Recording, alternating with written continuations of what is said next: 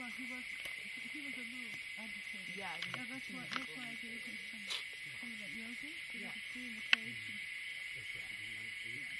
And, yeah,